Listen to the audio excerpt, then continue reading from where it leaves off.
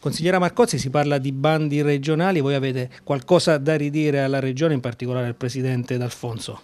Perché? Beh, è l'Abruzzo che ha qualcosa da ridire al Presidente D'Alfonso, perché eh, parliamo di fondi FESR ed FSE, una dotazione di 370 milioni eh, di euro, ad oggi sono stati pubblicati bandi per soli 46 milioni.